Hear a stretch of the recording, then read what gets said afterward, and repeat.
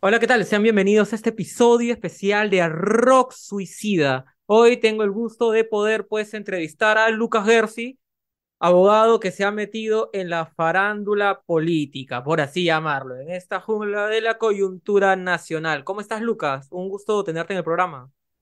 Hola Kevin, ¿cómo estás? Gracias por la invitación. Feliz año nuevo. Un Eh, saludo a igualmente. que escucha y encantado de estar acá.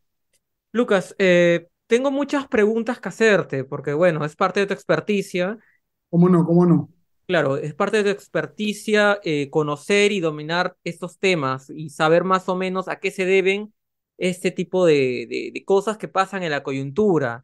Algo que mucha gente se pregunta para poder arrancar es sobre Pedro Castillo. Tú eres abogado.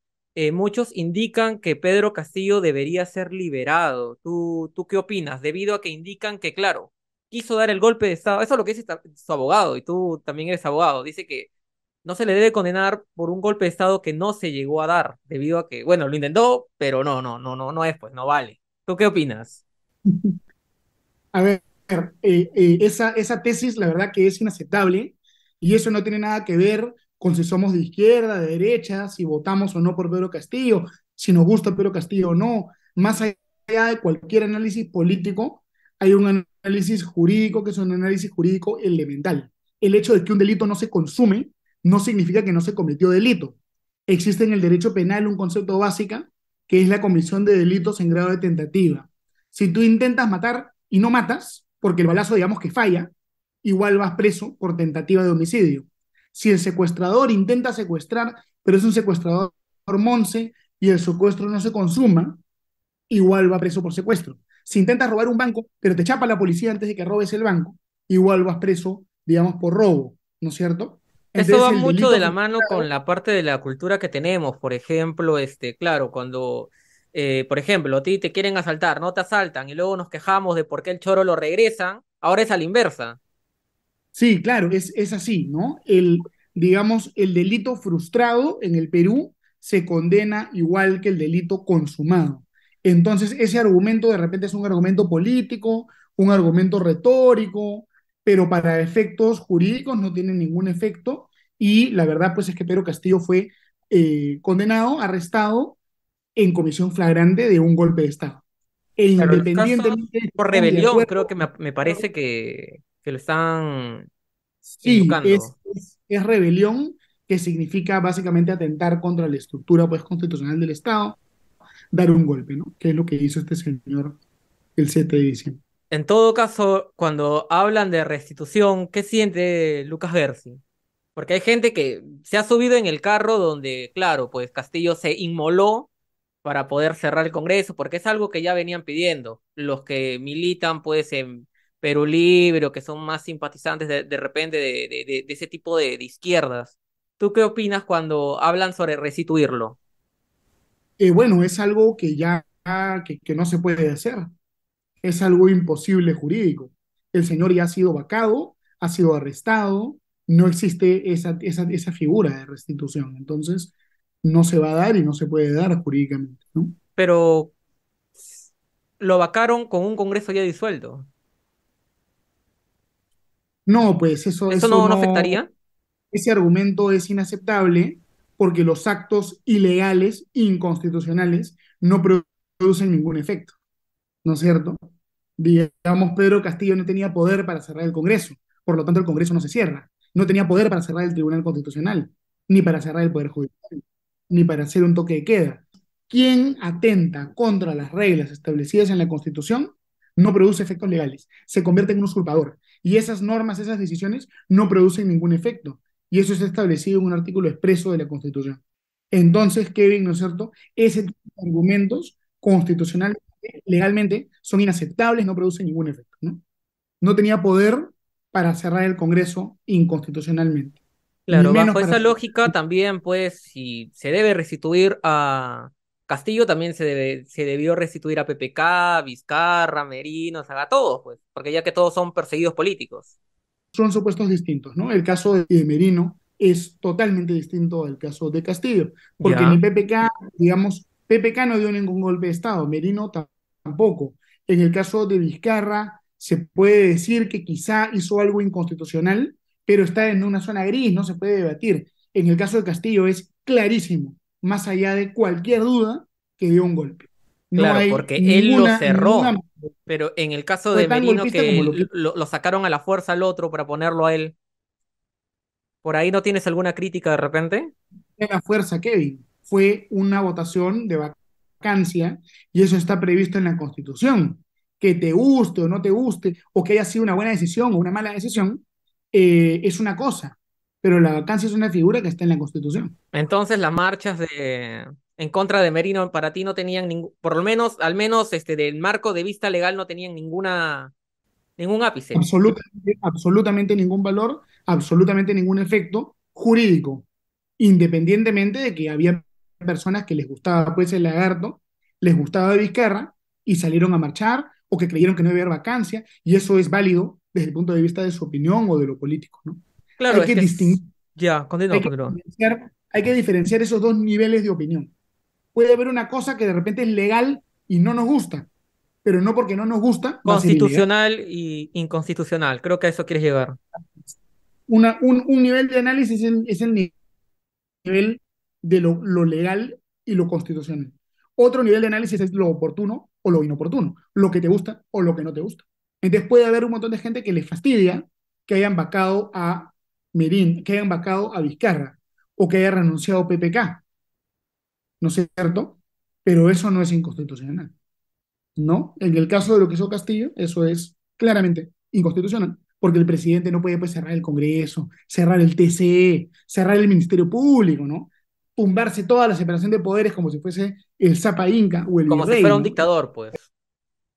Y es curioso porque él empezó eh, criticando a Fujimori por dictador y él, pues, bueno, no, no digo que él fue un dictador, pero fue un intento de dictador, porque el pata quería hacerlo. Claro, él, él quería hacerlo. La verdad que desde el primer momento, desde lo que él decía en la campaña, él, él decía estas cosas, ¿no es cierto? La verdad es que a Pedro Castillo tenemos que reconocerle no una virtud, porque no es virtud, pero sí una característica. Y una característica que él tiene es que ha sido totalmente transparente.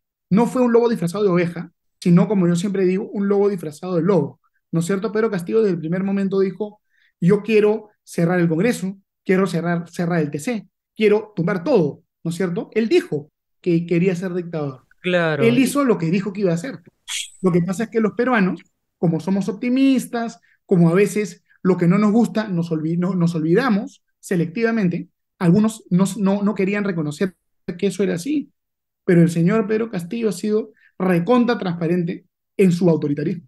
Pero hay diferencias como tú indicaste, pues, ¿no? El caso, por ejemplo, de cuando eh, sacaron del poder a Castillo, bueno, en este caso por lo de la vacancia, porque el pata quiso quedarse, y en el caso también de Vizcarra, ¿no? Porque eh, esa parte del, de la incapacidad moral, ¿tú lo cambiarías en la Constitución? ¿Lo mantendrías? Porque por incapacidad moral estaba referido pues a trastornos mentales, de repente pues esquizofrenia, cosas así, ¿no? No, no sé tú si le puedes dar, porque yo lo veo con muchos, muchos vacíos. A ver, Kevin, hay que, hay que tomar en cuenta ciertas cosas. La Constitución te habla de varios supuestos de vacancia. Hay un supuesto de vacancia que es la incapacidad física y hay otro supuesto de vacancia que es la incapacidad moral permanente. Cuando un presidente está loco, esquizofrénico, está en coma, senil de repente, eso es incapacidad física que es un supuesto distinto a incapacidad moral.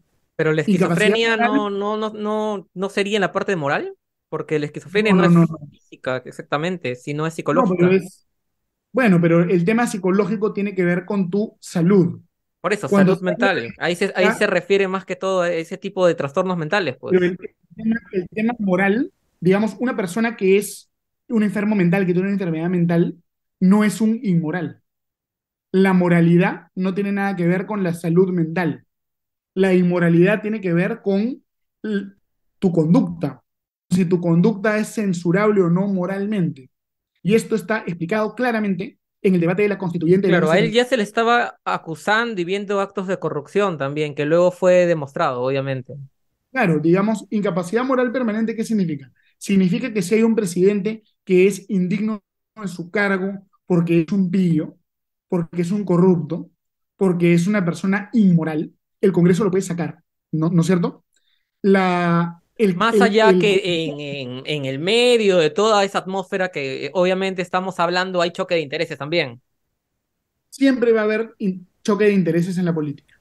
A ver, incapacidad moral permanente es efectivamente un concepto ambiguo, ¿no es cierto? Muy ambiguo. la ambigüedad de este concepto está contrabalanceada con el elevado número de votos que se requiere para aprobar la vacancia, que es un número enorme de votos, 87 votos. Entonces, es ambiguo porque nosotros no podemos saber de antemano todas las situaciones que se pueden producir en la política peruana y tiene que haber una válvula de escape para que podamos sacar a un presidente inmoral, ¿no es cierto? El requisito es que para sacar al presidente inmoral, casi todas las bancadas tienen que estar de acuerdo. La regla es, si casi todo el Congreso está de acuerdo, lo puede sacar. Por eso es que es tan importante el requisito del alto número de votos. Por eso es que cuando habían algunos congresistas de oposición que decían hay que bajar los votos para sacarlo a Pedro Castillo con mayoría simple, yo siempre dije, no, eso está mal. La vacancia con incapacidad moral requiere un número elevado de votos, porque ese número elevado de votos, eh, digamos que contrapesa la ambigüedad del concepto. ¿Ya? Ese es un punto. Otro punto, la crítica que yo le hago a la incapacidad moral permanente no es una crítica de eh, que el concepto es muy amplio. Este concepto no se puede definir, porque si nosotros definimos incapacidad permanente como tema A, tema B, tema C, nos olvidamos del tema D y el presidente que incurre en el tema D le saca la vuelta a la norma. Es decir, si nosotros decimos el que es eh, corrupto, el que es, el que es la, el ladrón, pero nos olvidamos el que es mañoso, de repente violador, al presidente violador no lo podemos sacar. Para ponerte un ejemplo. Entonces, desde Fujimori hasta ahora, todos debieron ser vacados. Ah, bueno, eso eh, es una ¿Tú qué apreciación que, opinas? es una apreciación que se podría eh, mencionar o no, pero el- el punto es que no hubo en ese momento suficientes votos en el Congreso para poder sacarlos, ¿no es cierto? Pero a ver, lo que yo te estoy diciendo es, tiene que ser un concepto amplio. No lo puedes intentar definir, porque si tú lo intentas definir, vas a dejar fuera conceptos que de repente son importantes. Tiene que ser un concepto, un concepto amplio, pero tiene que poder aprobarse con una mayoría muy alta. Y de repente un problema de la vacancia es que en el Perú el procedimiento es muy rápido. De repente la vacancia debería tener un procedimiento que implique una investigación un poco más exhaustiva, similar al procedimiento de acusación constitucional, que en vez de resolverse solo en una instancia, se resuelve en tres instancias. Primero va la subcomisión de acusaciones constitucionales, luego la comisión permanente, luego finalmente el pleno del Congreso. Entonces, podríamos tener una reforma, sí, pero esa reforma de la vacancia no debe incluir eh, precisar lo que significa incapacidad moral permanente, porque echa la ley, echa la trampa, y eso puede generar más problemas ¿no? que solución. Incluso habíamos hablado, recuerdo anteriormente, acerca del, artículo en la Constitución que indica que no se pueda investigar pues a un presidente en ejercicio. Yo creo que creo que ahí mencionaste tú que sí, sí se debería investigar. Para que la democracia funcione debe haber más filtros en todo caso. Correcto, a ver, eh, ojo que al presidente en ejercicio sí se le puede investigar, lo que no se le puede hacer es acusar. Así es. Siempre se le- se le puede investigar. Lo que pasa es que el presidente tiene inmunidad. Entonces, si el presidente, eh, digamos, se le investiga, pero ya no se le puede acusar, se le tiene que vacar antes de que se le pueda acusar. Y eso yo creo que posiblemente ya es una figura desfasada. Yo creo que le hace bien a la legitimidad de la democracia eliminar todas las inmunidades, ¿no? Así como se eliminó la inmunidad de los congresistas, el presidente también debería perder su inmunidad, ¿no? Sea del bando que sea. Sea del bando que sea. Inclusive los jueces, actualmente los jueces tienen también inmunidad. De repente los jueces también deberían perder su inmunidad, ¿no? Por ejemplo, el, si, si hay un juez que es corrupto en la Corte Suprema, en el Tribunal Constitucional, ese juez no puede ser enjuiciado hasta que el Congreso le levante la inmunidad. Entonces, eh, de repente el Congreso podría blindar, ¿no es cierto?, a un magistrado delincuente también. Entonces, deberíamos ya eliminar todas las inmunidades que yo creo que son rezagos de épocas pasadas, ¿no? Ahí hay una reforma que yo creo que podríamos tener consenso para eliminarla.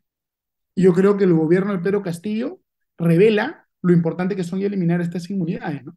Porque la política, cuando hay inmunidades, atrae a veces delincuentes. También es verdad. Como abogado que eres, tú ya tienes obviamente un prisma y un lente mucho más amplio de cómo ver el marco legal. ¿Cuántos años tú crees o asumes que le llegarían a dar? ¿Por, ¿Sería lo mismo que a un dictador o alguien que lo intentó? No sé. Bueno, ah, bueno, habría que ponernos a sumar y calcular la pena, ¿no? Hay que tomar en cuenta que Pedro Castillo afronta varios eh, potenciales delitos, ¿no? No es solamente el tema de la rebelión, de la sedición, sino también todos los casos de corrupción, Corrupción. Ahí, que también son graves, ¿no? Pero siempre no, no, no, no es que siempre te dan el más alto. Yo creo que más alto que rebelión no, no le van a dar. pero a yo creo que eh, probablemente estaría 20 años o más eh, en la cárcel, eh, eventualmente, ¿no? Casi Con, lo, el tema mismo la... que Fujimori. Casi lo Bueno, mismo. Fujimori va a Fujimori 25. 25 por su edad, Fujimori debe morir en la cárcel probablemente, pero seguramente va a ser menos, ¿no? que Fujimori, eh, pero él va a estar, yo, yo pienso, largo tiempo tras las rejas por los delitos que ha cometido. Hay mucho público que indica que Dina Boluarte es usurpadora porque ella debió, pues, apoyar a Castillo. Ya dijo que se iba a ir, al final se quedó. Bueno, eso que se iba a ir es mentira, pues, ¿no? Porque todos, todos los que entran para ser vicepresidente, pues, están ya en la plancha porque van a asumir después que se, se ve el presidente, ¿no? Es más que todo populismo. Yo incluso hice una biografía no autorizada del tema, pero me gustaría escuchar tu, tu posición. ¿Cuáles para ti serían, pues, me imagino que tienes eh, argumentos quizás más sólidos, ¿no? ¿Por qué y explicarle a la población por qué no es una usurpadora? Más allá que te guste o no te guste ella. A ver, a Dina Boluarte nos puede gustar, nos puede no gustar. Yo creo que moralmente es feo que ella diga que se va a ir y después no se vaya, pero usurpadora de ninguna manera es, ¿no? Usurpador es la persona que se arroga o se apropia de una función que no le corresponde de manera ilegal.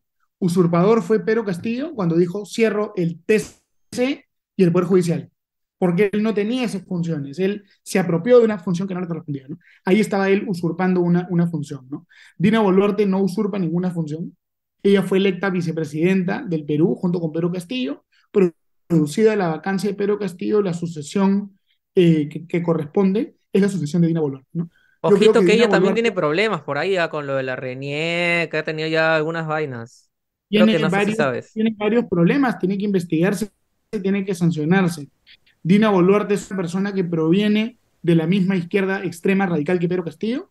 Es una Pero ella deslindó, ella yo recuerdo que cuando entró a los dos meses nomás dijo que no pertenecía al menos en las banderas ideológicas pues de, del comunismo que propone Cerrón y Cerrón la expulsó, por eso que ella está sin bandera.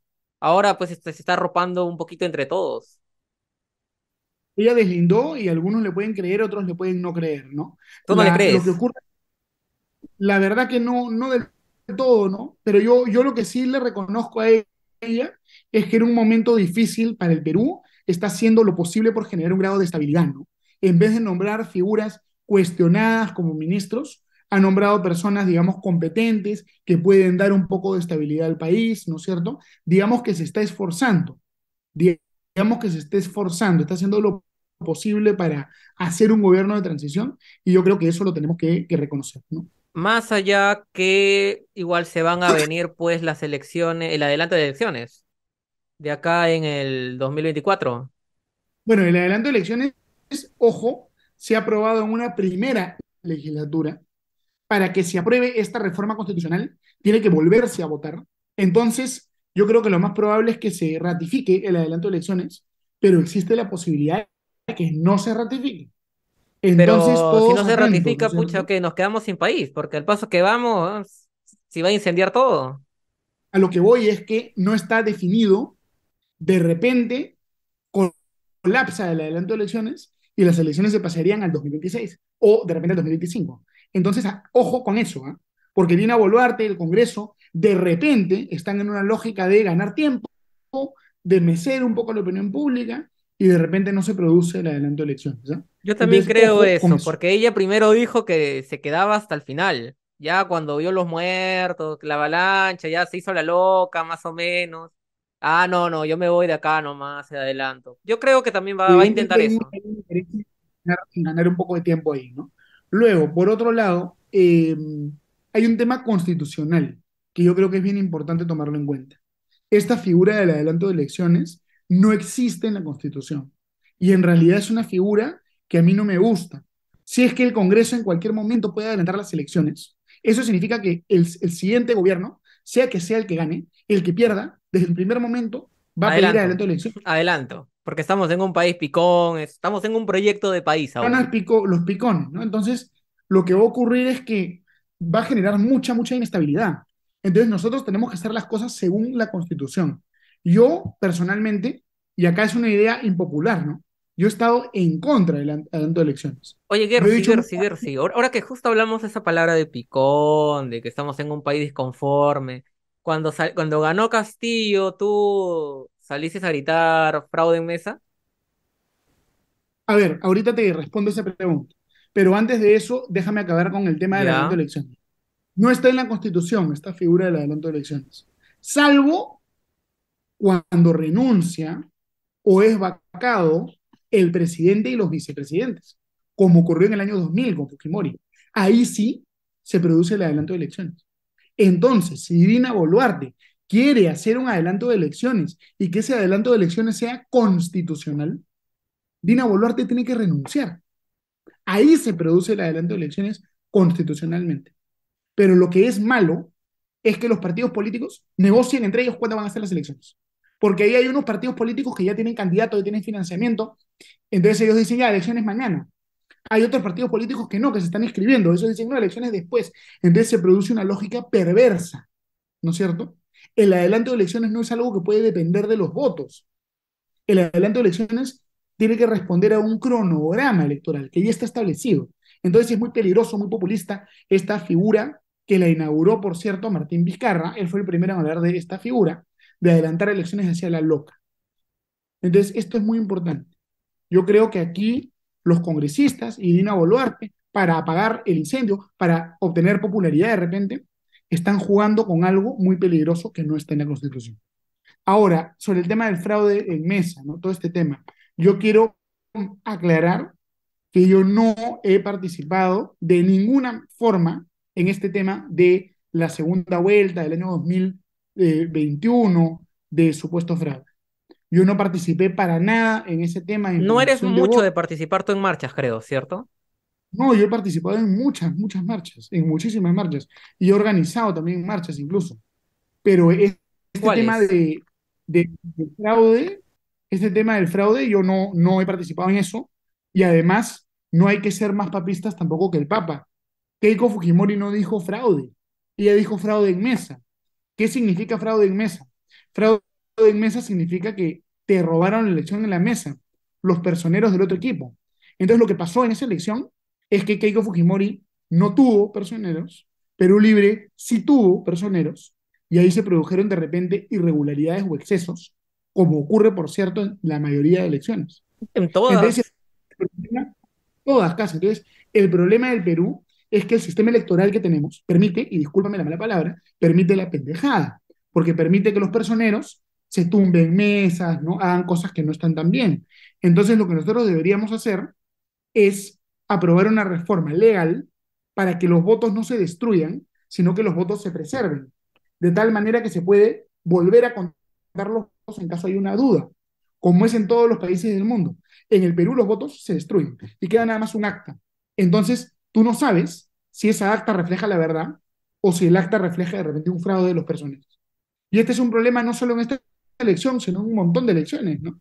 Claro, incluso ya la fiscalía, pues a través de investigaciones, incluso pues llamaron a entes internacionales, indicaron pues que, que no había, que eran elecciones limpias, al menos así lo trataron de hacer ver.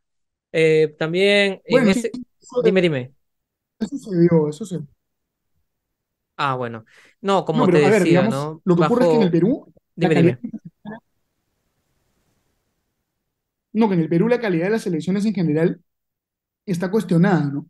Por esta figura que es muy informal, con los personeros. Deberíamos buscar tener un sistema electoral más moderno, que permita un reconteo de los votos, ¿No crees que Unidos, igual la Europa, en pendejada entraría? países como lo llamas tú. Eh, siempre, siempre puede haber una mar- una, un espacio para eso, pero si tienes votos que volver a contar, eso da más confianza a la ciudadanía.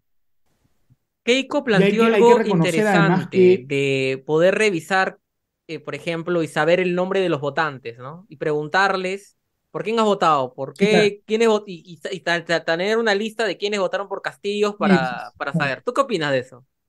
no, yo creo que eso hubiese servido para dar más transparencia a la elección, porque acá, acá el problema también Pero fue que ahí también hubiera habido una mano negra, en pues. vez de, Si yo sé que tú has votado por Castillo, me adelanto, te pago y ya, pues ya dices que has votado por Keiko. bueno, eso se tendría que, que probar, ¿no? También. No, pues, pero con plata en mano, pues la mayoría pues va a decir, ah, ya, no, no, no, creo que yo voté por Keiko. Bueno, han habido casos así, ¿no? Hubieron algunos casos así. Sería interesante que se investiga si se descubre que hubo un soborno, que se, que se sancione ese tema, ¿no? Hubieron varias personas que dijeron que sí habían votado por, por Castillo, e incluso cuando Keiko decía que no, que en esta, esta familia ha votado por mí, y recuerdo, y yo creo que eso tú, también- tú también te debes acordar. Bueno, hubieron de, de, de esos y hubieron también otro tipo de... Ah, hubo de todo, de todo, de todo. por de ambos, ambos lados, ¿no? Es que se han tirado barro, pues hermano, es una elección presidencial. Sí, lógico, como es natural, como es natural en la política, ¿no? Pero a ver, digamos, una sobre esa época, ¿no? Un comentario que sí yo creo que es importante hacer es que las autoridades electorales en realidad de buscar dar legitimidad a la elección, yo creo que fueron muy torpes. Por ejemplo, Fuerza Popular presentó un montón de reclamos. Para que la, la elección tenga legitimidad, tenían que revisar los reclamos. En lugar de revisar los reclamos, los rechazaron con, con argumentos formalistas, diciendo que estaban fuera de plazo, convocaron formalidades. Entonces los de Fuerza Popular se picaron y un porcentaje importante de la población sintió que la elección no era legítima. Entonces el Jurado Nacional de Elecciones yo creo que fue torpe, ¿no es cierto? y generó una mala imagen. Y eso hizo mucho daño a la estabilidad política del Perú. No, eso yo creo que sí es innegable. Eh, tú me preguntabas por marchas, ¿no? Yo, yo he organizado incluso marchas, ¿no? Eh, la marcha del 5 de noviembre fue, ha sido la, la más grande que tuvimos eh, contra el gobierno de Castillo. Yo estuve en la organización, ¿no? Me hablas de marchas y acabo de recordar de la Marcha de la Paz. ¿Por qué a muchas personas le ha incomodado la Marcha de la Paz? Eh, bueno, debo antes que nada aclarar que yo no he podido participar en esa marcha porque me Ah, encontraba fuera del país cuando se realizó, ¿no? Pero a ver, yo creo que, yo creo que, digamos, lo que se cuestionó en esa oportunidad fue la convocatoria que hizo un general de la policía, si mal no recuerdo, ¿no? Yo sí pienso que lo mejor es que la policía no participe en ese tipo de actividades, ¿no? Creo que fue un, un error del general de la policía. Cuando tú hablas sobre vacar al presidente, hablas sobre una cierta serie de opciones. Para cerrar el Congreso, ¿deberían haber un poco más de opciones también? ¿O sientes que ya, ahí está, está bien? Lo que pasa es que, Porque es más difícil cerrar el Congreso. Del- al menos la, impresión que tengo. mira, el país siempre necesita un presidente y el país siempre necesita un Congreso. Cuando el, el Congreso vaca al presidente, el mismo día juran al siguiente presidente. El problema es que cuando el, el presidente disuelve el Congreso, hay como seis meses antes de tener un nuevo Congreso, ¿no es cierto? Y en esos seis meses el presidente actúa como dictador. Cuando Martín Vizcarra disolvió el Congreso, en esos seis meses, Martín Vizcarra se comportó como un dictador. Aprobó barbaridad y media por decreto supremo, sin ningún tipo de contrapeso. Se portó como un dictador total. Que haya disolución del Congreso, pero que sea como los países civilizados. ¿Cómo es esto? Ok, disuelves el Congreso, se mantiene el Congreso actual hasta que escoges al nuevo. Lo que no puede haber es un espacio de tiempo sin Congreso, porque eso permite que el presidente actúe temporalmente como un dictador. Y eso es inaceptable. En los países parlamentaristas, en Inglaterra, el presidente puede, no, no el presidente, ¿no? El primer ministro puede llamar elecciones el momento que quiera, pero cuando llama elecciones no se disuelve el Congreso, sino que se mantiene vigente el Congreso hasta que entra el nuevo. Lo que no puede haber es un periodo de tiempo donde no hay Congreso. Ese es el problema de fondo. Y habría que cambiar la constitución para que no pueda haber eso, porque lo que es inaceptable es la concentración del poder.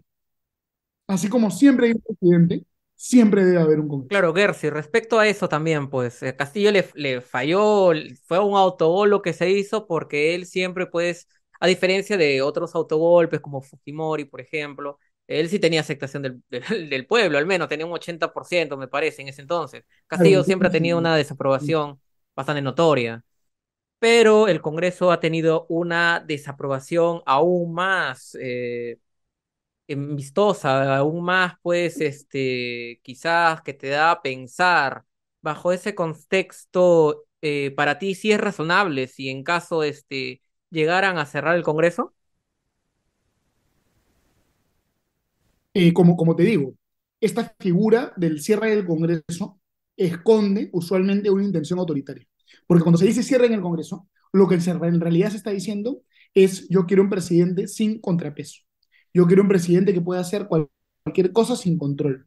Y eso es inaceptable. Claro, siempre tiene que haber oposición, nos guste o no nos guste. Siempre tiene que haber control, una oposición, porque el presidente hace, hace, hace cosas, emite decretos y el Congreso lo revisa. Tú no puedes tener un, tú no, el presidente no puede tener un poder sin un contrapeso. Eso es una barbaridad. No se puede hacer. Siempre tiene que haber un Congreso. Así como sería inaceptable también que el, que el Congreso vaque al presidente y luego estemos seis meses sin presidente. Porque ya muchos Eso están indicando sería... que Dina Boluarte pues sería el títere del Congreso. Y pues estaría alineado básicamente pues a la misma dirección que ya pues tienen las agendas políticas el, de ellos. A ver, a ver, el presidente, para que el país tenga estabilidad, el presidente tiene que buscar apoyo del Congreso también. Entonces, si un presidente no tiene apoyo del Congreso, tiene que ceder políticamente. Eso es lo que se hace siempre eso es la democracia, ¿no? No creo que sea una títere del Congreso, pero sí está buscando un entendimiento diálogo ellos, eh, para, para, poder sobrevivir, ¿no? Eso es la política y eso está bien. Y es lo que necesita el país. Yo he visto muchas personas que te critican a ti por eso, porque indican que tú, pues como político, buscas de repente un diálogo o un apoyo, pues, en personas de distintas bancadas, incluso que no sean de derecha, sino de izquierda. ¿Tú qué responderías? que lo que tú haces está bien o, es justificable. ¿Te refieres a Dime. ¿Te refieres? No, no entiendo del todo tu crítica, la crítica.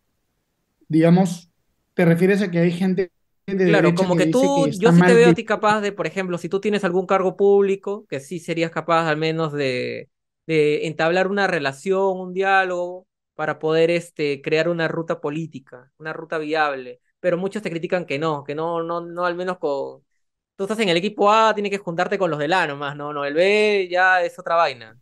Bueno, a mí, a mí la verdad que me sorprende porque, digamos, la política no se trata de imponer tu punto de vista, ¿no? Se trata de convencer, se trata de aprender. Además, la posición que uno tiene es una posición de un sector, ¿no? Entonces, no se logran las cosas si no se conversa con el que piensa distinto. El fanatismo, el sectarismo político lo tenemos que desterrar. Y el problema del Perú es que tenemos una izquierda muy, muy, muy recalcitrante, una derecha muy recalcitrante, todos los partidos son muy recalcitrantes, nadie quiere conversar con nadie, todos quieren vengarse de todos, y eso nos lleva al, finalmente a la frustración del sistema democrático y al riesgo de que hayan dictaduras de izquierda, de derecha, de cualquier tendencia.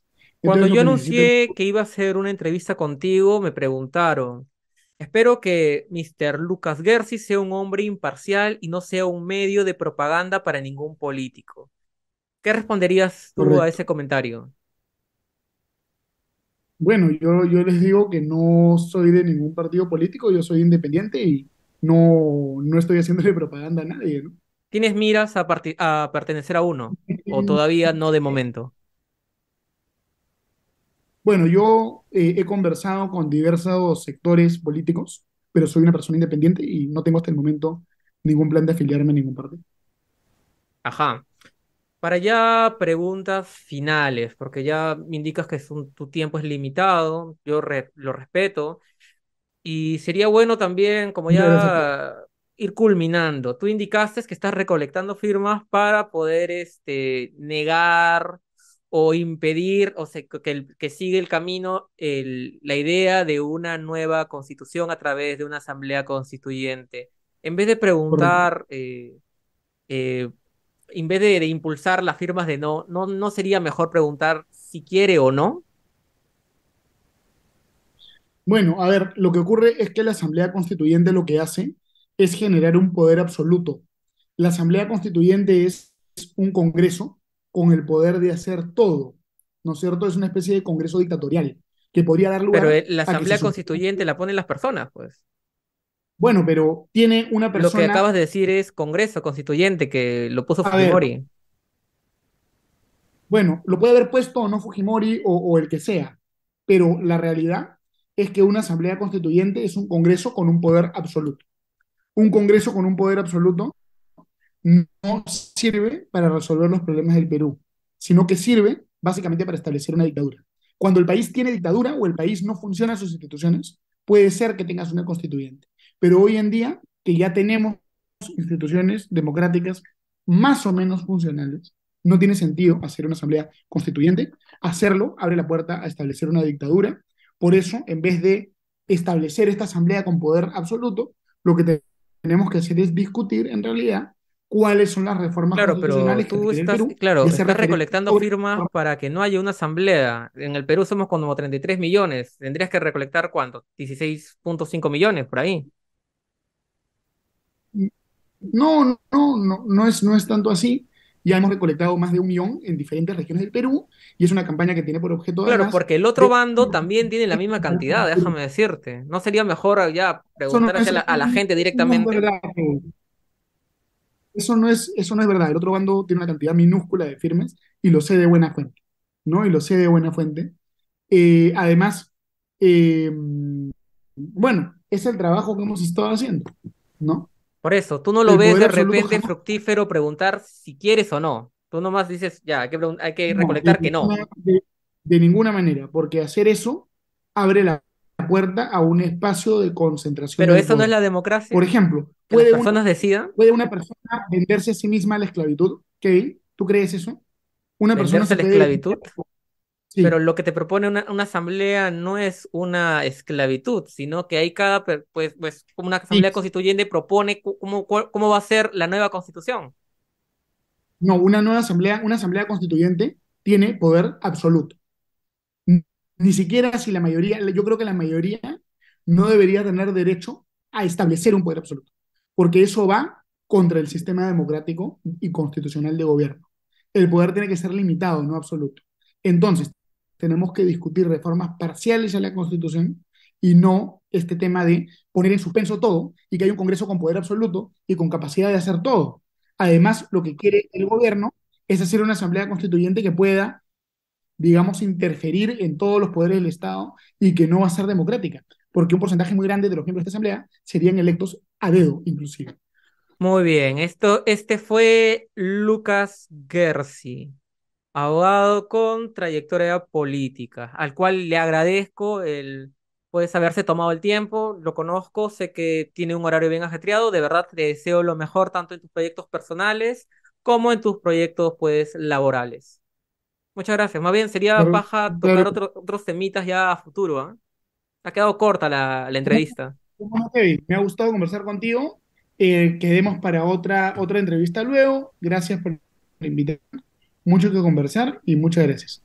Y bueno, eso sería todo de mi parte. No se olviden por favor de suscribirse al canal, eso es lo más importante que deben hacer, no cuesta nada. Dejar su like que apoya, ustedes no saben cuánto, para que YouTube siga recomendando este tipo de contenido y pues seguir mejorando la calidad del canal.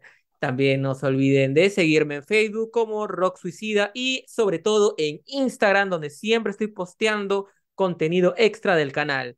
El Instagram es Kevin-Omega-. Se despide de ti, tu hermano Kevin Omega, hasta que nos volvamos a encontrar, Tincuna Cama. Si uno le abre la puerta al caviar, el caviar no solo te da la mano, se basta el codo, te arranca el brazo, te roba toda todo lo que tienes y después se va. Yo siento que hay, cuando nosotros hablamos de caviares, hablamos de un espectro bastante amplio de personas. ¿no? Hay eh, caviares que son personas muy respetuosas de la democracia y del libre mercado y la libertad, y hay otros que no, ¿no es cierto? Hay unos que tienen métodos bastante sanos y hay otros que tienen métodos bastante tóxicos. Entonces no podemos generalizar. pero yo siento que hay una masa crítica de personas eh, con las cuales seguramente sí se puede conversar, ¿no? Y que seguramente sí se pueden, sí se pueden sumar. Entonces, no todos los caviares han sido creados iguales por Dios, ¿no? Ese es el tema. Hay de todas las especies.